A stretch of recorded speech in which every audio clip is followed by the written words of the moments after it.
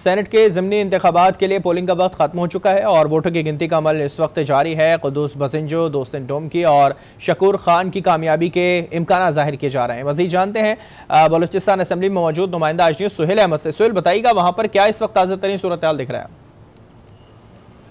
जी, बिल्कुल इस तरह है कि ताज़ा तरीन सूरत ये है कि वोटों की गिनती तकरीबन वक्त ख़त्म हो गया और इस वक्त वोटों की गिनती जारी है।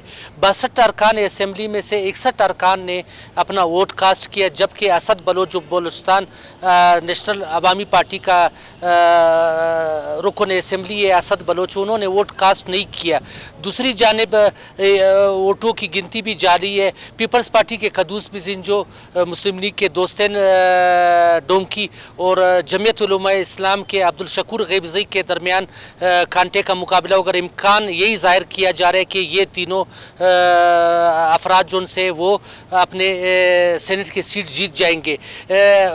ये तीन सीटें जो खाली हुई थी, अब्दुल गफूर ऐदरी सरफराज बुटी जो वजी अला बलूचिस्तान मंतखब हो गए और M P A Umar Ahmadzai, जिन्होंने अपने ये सेनेट के इलेक्शन के जो सेनेट की जो सीट थी वो छोड़ दी, जिस पर आज ज़मनी इलेक्शन हो रहा है। जी। ठीक है, बहुत शुक्रिया सोहेल, तफसलात से आपने अगर किया है। बलूचिस्तान असम्बली की तीन सीटों के ऊपर ये इलेक्शन हो रहा है। तकरीबन बासठ अरकान में से इकसठ वोट कास्ट किए गए हैं।